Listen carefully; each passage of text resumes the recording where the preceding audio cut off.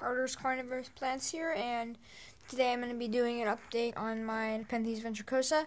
And there's one thing that I need to point out is that this little pitcher here is going to be the biggest pitcher on this plant so far because that one's small, and that one's medium, and this one is really big. I'm just going to get a closer view of that so you can actually get a size comparison because my camera is very crappy. Okay, so there's that one. I'm give you the other one.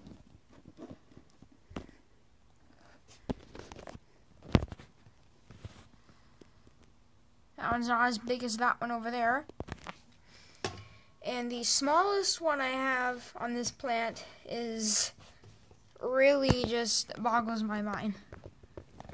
That little thing right there well, the thing beside the other one that's that's blurred out is the smallest pitcher I have on this plant. So this will be the largest pitcher I have on my plant. It's it's a really healthy growing pitcher, starting to fill with liquid. So